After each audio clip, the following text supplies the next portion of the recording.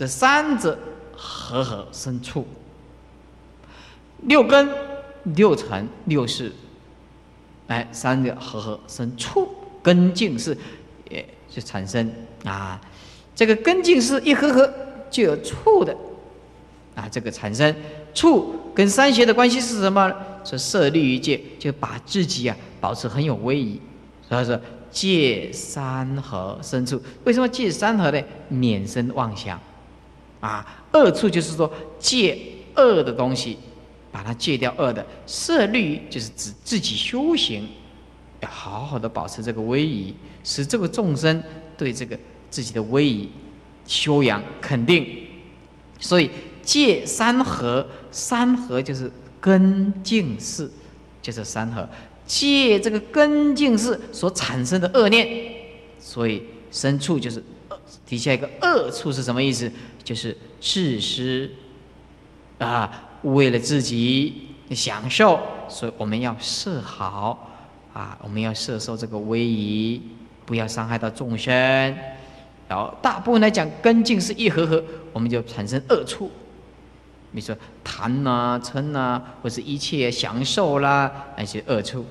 那智力，所以我们称为它恶，只享受自己吗，所以成为恶。哎，再来是利他，所以我们说是善处，所以设善法界。这摄善法就是利，能够利一切众生哦。啊，摄善法界，摄众生界啊，摄一切善法，还摄一切众生。当然，令三合生处，那么当然就是善的啦。能够善法啊，能够利益众生，这当然是好的啦。再来，这修定会也是这样，也是令这个根净是三合生处而成定慧。定慧啊，三十二页。三十二页，作善、作恶，都是由作意之力。作意就是你心里呀，起什么动念呢？这个作意就是我们所讲的念动念，动到什么念头？你动到善的念头，你日子好过了；你动到恶的念头，那么因缘果报逃不掉的。所以要善于关照自己，千万赶快放掉恶的不好的念头，你才有快乐成分。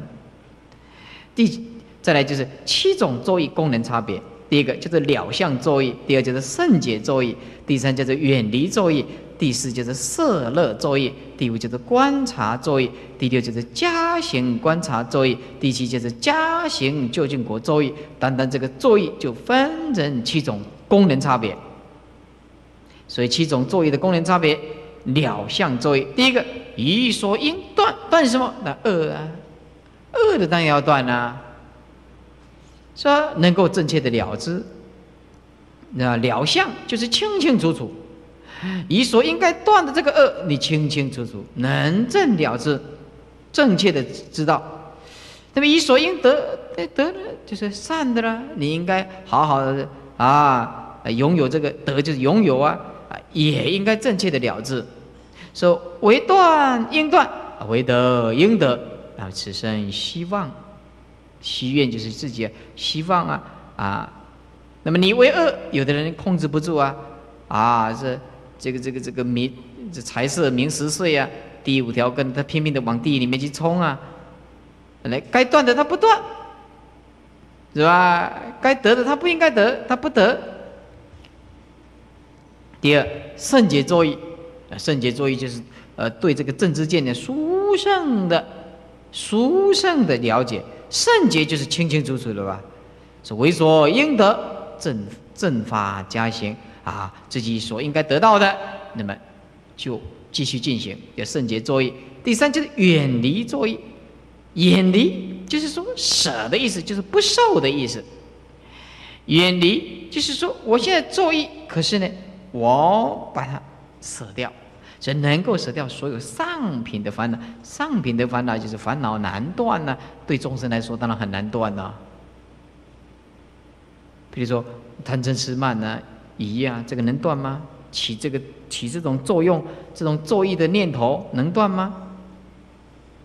可以舍掉上品的烦恼啊，这个远离作意，远离也是属于一种啊，慢慢的，所以远离就是一种放下不必要的念头，远离。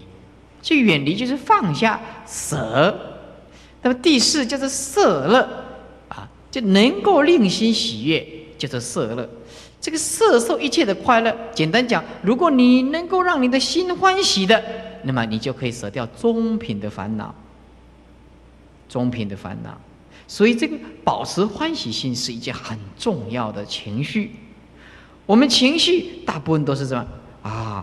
颠颠倒倒的，今天乐，明天呢啊就苦，后天呢就就烦恼啊。所以这个色乐能令心喜悦的。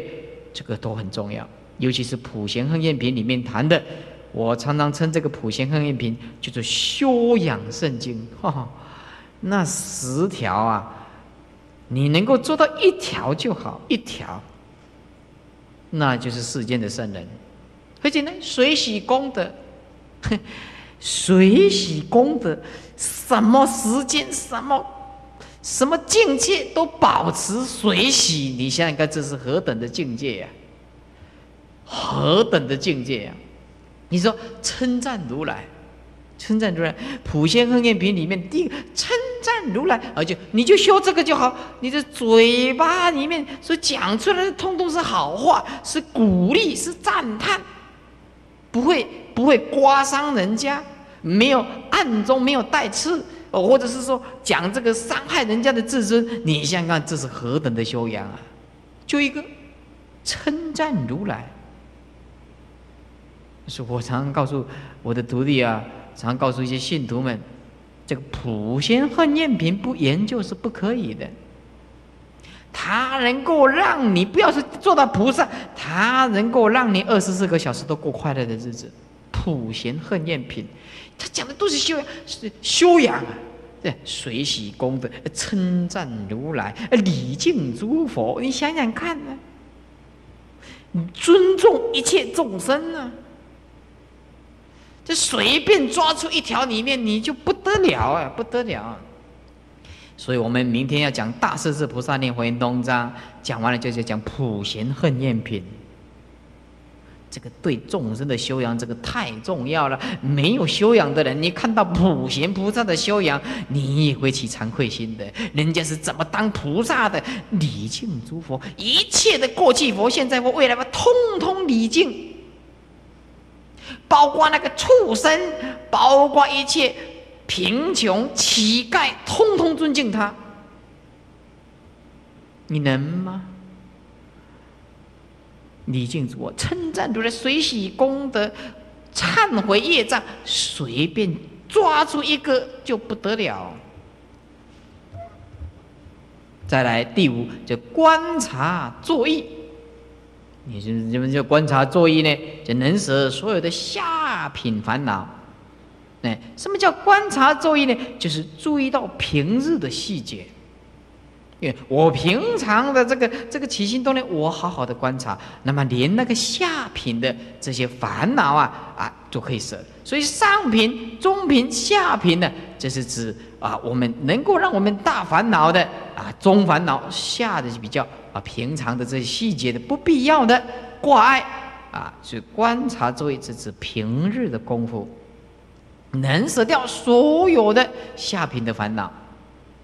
第六就是加行观察作业，那么就是什么叫加行呢？就是所谓的精进。这个加行就是一种精进啊，再进一步啊，再更加的注意关照我们的内在的念头，那么就能使所有的下品烦恼，那就可以安住其心了。简单讲，那个关关照就是我们解脱的根本嘛，还是要关照嘛，观空嘛，观舍嘛，难舍能舍，难忍能忍嘛。第七就是加行就近果，那究竟果就是佛国吧，所以能够正确的领受，比诸作意，清清楚楚的用正知正见的来领受啊，所以善修习果啊，善修习果意思就是以前所修习的习惯性，比如说善啦、宽恕啦、身口意清净了，这个是修习果，所以习就是一种习惯性，一种。啊，一种所谓的善的啊，一种修行的习惯性。修习就是一种惯性，啊，使它变成一种啊，比如说听经啊、闻法啦、念佛啦，啊，能够变成一种习惯性啊，就会到最后就产生就近果出来，这加行就近果作业。第三，就是受，我们把第三、第四、第五个讲完，再下课。三十三页，苦受逼迫。什么叫苦？会逼迫我们叫做苦啊，会逼迫我们叫做苦啊，是吧？苦受啊。那么苦受，比如说肉体的，就是苦受；心灵呢，就是忧忧啊，烦恼咯。对肉体的痛苦，我们叫做苦受；对心灵的烦恼，我们叫做忧受。一种是心灵的痛苦，一种是肉体的痛苦。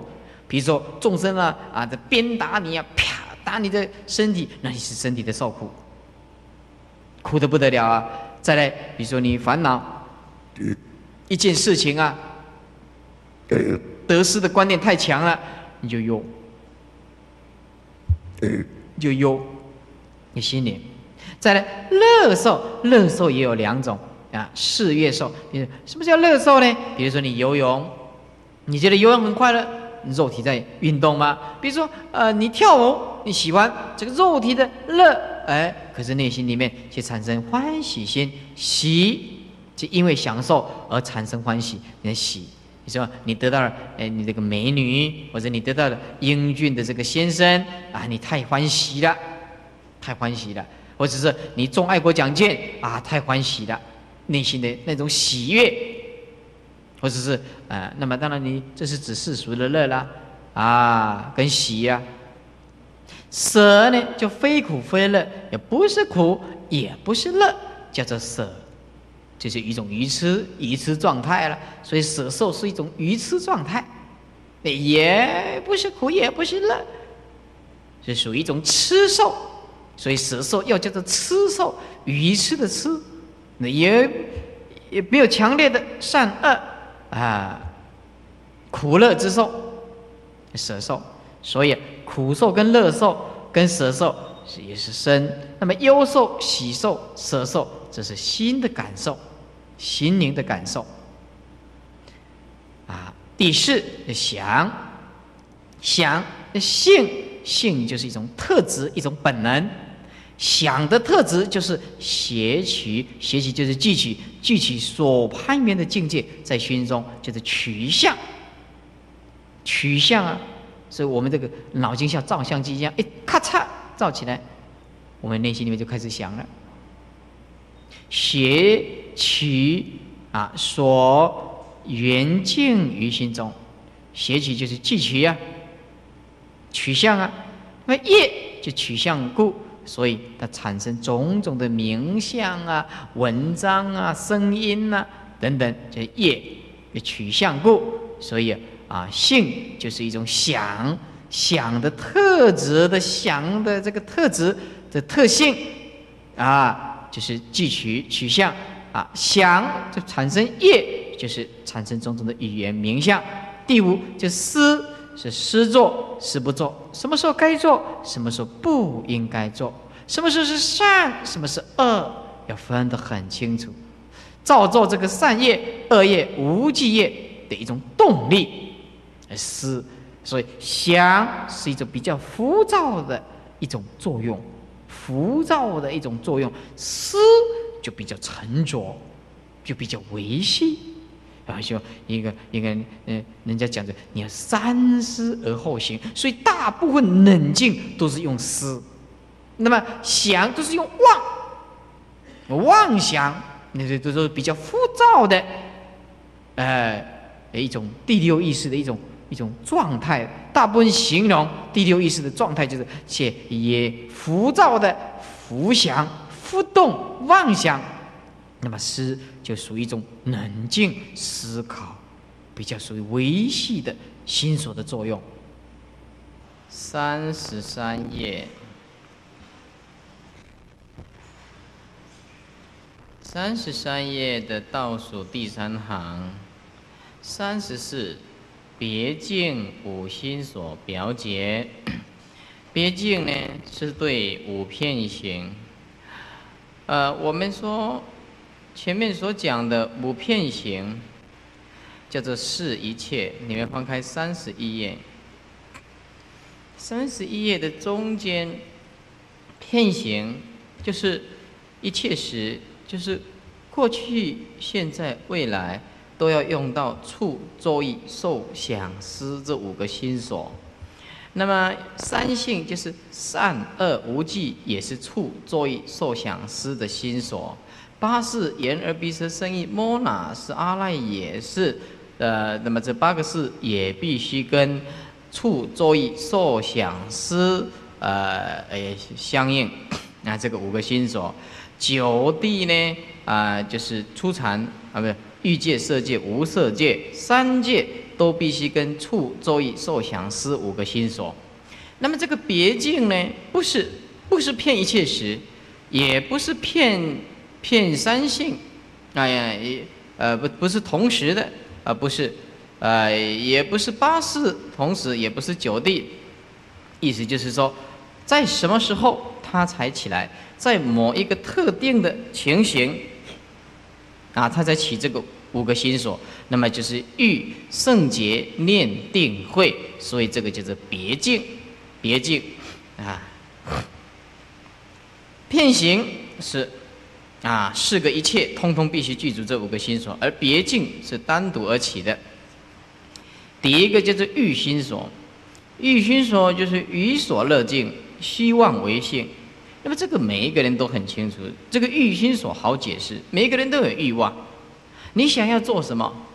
啊，呃，我们呃念小学的时候，老师的作文题目啊，呃，我的未来，哎，我的未来，啊，有的人呢喜欢做科学家啊，有的人喜欢做老师啊，有的人喜欢做音乐家啊，好像在念小学的时候，没有人写过我的未来要当法师，哎，没有，啊没有，啊，因为不懂三宝，也不懂，是吧？啊，现在小学生可能有了啊，有一个小学生周记呀，也也写也写，也老师也出一个题目给他们，你们今天回去啊，呃，要写个我的未来，结果一个学生写个我的未来要像慧利法师，啊，结果他老师，竟然是我的皈依徒弟啊，那个打一百分，啊，满分啊，一个。学生刚好是是欣赏师傅，那那老师刚好是我的徒弟，哦，太棒了，是吧？哎，那都得侵害人多的一个灵魂。哎，写这个像赌啊，啊，一半赌博是吧？啊，这个欲呀，大家都有。你希望怎么样啊？于所乐境啊，希望为性。三十四页，所乐，第一个叫做可心境。可心境就是实实在在的境界，啊，这跟第三个心观境，心观境是一种希望，然后自己作意去观想，希望有什么境界合于自己的见闻觉知，而这个可心境不是，是实实在在的面对这个见闻觉知啊。第一可心境，可心境就是欣喜见闻觉知之境。你说你现在你喜欢看电影啦？或者是呃，你底完呢，喜欢看这个划龙船呐，啊，你闻呐，觉知你喜欢的境界，那么现在刚好给你啊碰上了，说减肥可厌境啊，不是你讨厌的境界，也不是中间境，中间境就是呃，不是两端化，不是不是不可乐，也不是可厌，意思就是说，中性的境界就是中间境。也不是很快乐，那也不是很讨厌，就是这么样子，也没有感觉到什么很特殊的，就是中间境。第二就是所求境，可心境呢，未得求和，既得求不离；那么可厌境呢，未得求不和，啊，既得求离。啊，这个跟婚前婚后，婚前可心境，结婚以前。未得求和啊，还没有还没有碰到她啦。哎呀，你是多漂亮啊！她的皮肤啊，啊，她的眼睛啊，像猫咪呀，陈南丽呀，像耳朵像如来佛啊，哦，很很长得很漂亮哈。耳朵像如来佛，哦，很大，戴耳环很方便的啊。哎，未得求和，哎，还没有得到这个这个这个呃结婚呢，我希望啊啊记得哎求不离，呃结婚以后，哎刚刚结结婚了，哦，希望不能离开啊，不要离开啊。啊，每天回来啊，啊，这这太好了，感感觉很好，回家的感觉真好。嘿，经过了三年五年就不一样了，嗯，三年五年就是可厌境，可厌境怎么样？啊，未得呃求不和，啊是吧？啊，既得呃求离，啊未得以前还没有还没有得到啊，哎现在哎我怎么会嫁给你呢？是吧？哎，为什么嫁给你呢？是吧？哎，希望说不要碰到他啊，现在碰到了，哎，希望。嗯，离开，所以说未得则求不和，既得求离，还没有得到的时候，希望不要碰到，啊，哎，现在碰到了，有一些赶快要走，赶快要走，啊，就是这样子，这个众生就是情绪化的，情绪化的，哎，所以当你把每一件事情，你很喜欢那一件事情的时候，你想想看那一件事情的缺陷是什么？比如说你不能得到得到对方，你也。不必认为得到它叫做幸福，也不见得，不见得。你谁得到佛法才是世界上最幸福的人？说可心境啊，没有得到啊，是求和；既然得到，又不希望离开。可厌境呢？哎呀，还没有得到，要赶快，千万千万不要碰到他。比如说冤亲债主啊，冤亲债主，呃，也没有碰到他，哦，最好不要碰到。哦，碰到了，那赶快离开。所以现在呀。有有很多的这个这个年轻人啊，结婚以后就是这样，记得求离，赶快要离婚，赶快离婚，离婚做什么？要来短期出家，后来就变成长期出家。哎，第三就是心观境，心观境，哎，心观境的作意意观之境，作意就是动一个念头，观想啊，那么也就是。极易见闻觉知之境，你希望怎么样啊？比如说，我希望有一个房间的摆设，嗯，我希望说这个房间我一进来见到，哎，就是有罗曼蒂克。一听闻回到家里，哎，就听到了音乐声，啊，就感觉很舒服，是吧？就是见闻觉知，或者是说，呃，你希望怎么样的见闻觉知？啊，所以说，第一个可心境是说实实在在有喜欢的境界，啊。那么所求境有可行境跟可厌境，那么心观境就是说你希望怎么样的境界，而是作意的自己去观想，啊，不是实在碰到的，只是说你的盼望是什么。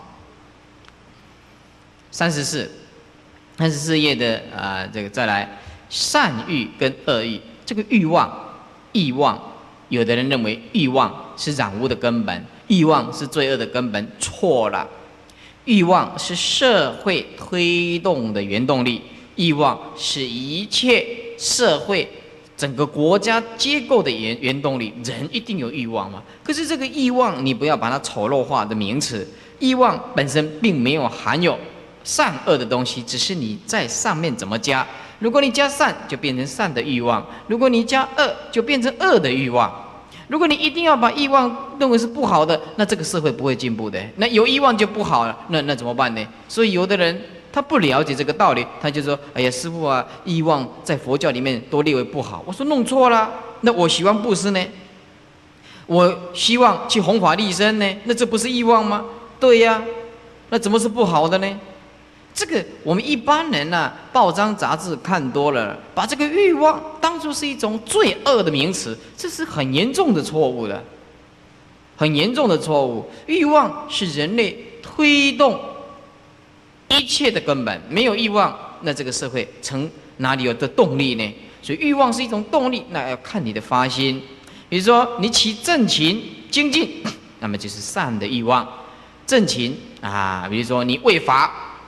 啊，忘躯，为了求这个佛法，啊，下大雨淹大水，啊，像今天你一样的，一样的，哎，哎，来上课，哎，这个多多不简单啊，是不是啊？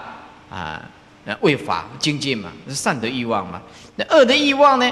嗯，那为色，就是为女色啊，啊，为财啊，啊，还在懈怠，也不修行，啊，不好的欲望，等于说。啊，这个为女色昏天啊啊的颠倒啊，然后昏头转向的，也不知道你的任务是什么啦。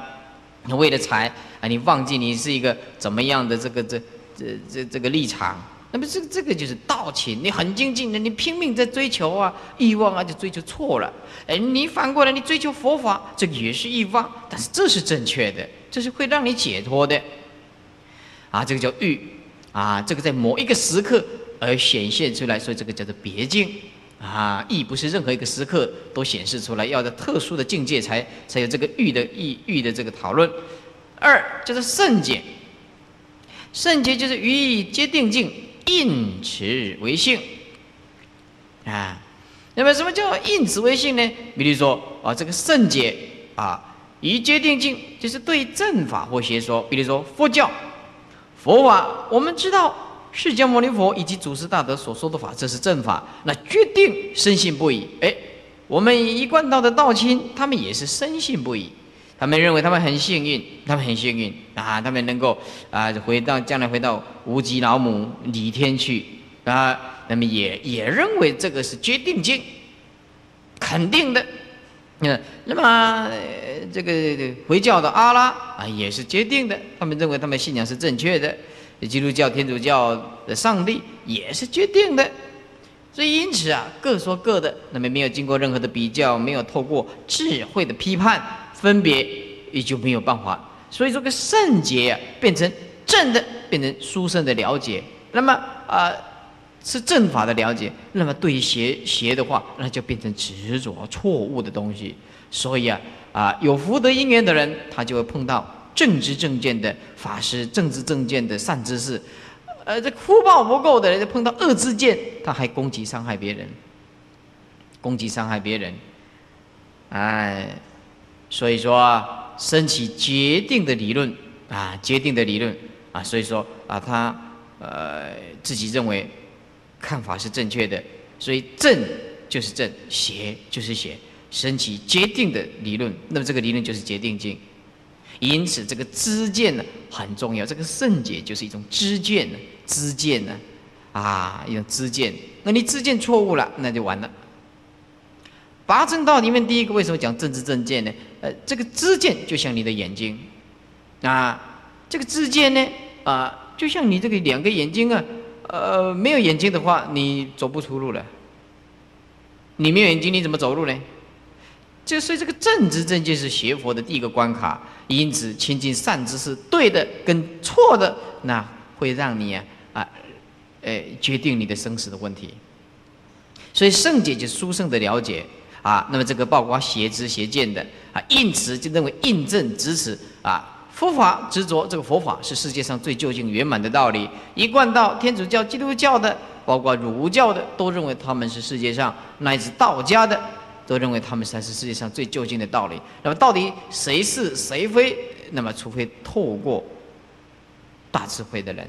啊，否则的话，每一个人都讲他自己是对的，啊，他会同情别人。哎呀，他们很可怜呐，现在末法啦，老母娘要收盐呐，收盐呐，哎，就九十六亿啦，还可怜呐，怎么样呢？他们不来信一贯道的，怎么样子？他也会同情别人的，他们认为他们很幸运，很 lucky 的，很 lucky 的，啊，他们那些那个幸福还很可怜，哎，哎，所以。呃，所以我姐姐以前都碰到一贯道，一贯道跟我家大姐说：“你弟弟做什么？我弟弟出家做法师。啊，念佛来不及啦！念佛像走路啊，我们这一点得到像坐飞机啊，飞机啊，就是这样子啊。我的观念就是这样子，用自己的观念。嗯，所以是很可怜。那么因此我们也不能，我们一直说我们殊胜，可是他没有因缘呐，没有用的呀。第三。就是念心所，念心所，念心所就是一意成息境，就是过去曾有过这样的境界，令心铭记啊，令心的清清楚楚，不忘为性啊，不要忘记啊，念念啊，念之在之嘛啊，定一为业，定就是能够使你这个念常常念的话，呃，这个定它就有点定力，所以定一为业是意思就是说，定是善念之业。哎，这个心的定是必须修这个善的念头才有办法产生，意思就是善念是定所依，能够生定，你一个人的善念，当然，当然你的善念，那包括你的一切啦。他这里的善就是包括你的本性呐，佛的因身语言呐，啊教呃这个这个的佛的这个教化的佛法啦，啊等等，能够让你心呢得到定，那这个必须要善。恶不能让你心定的，造杀盗淫妄等这十二业的人，那么这个心呢？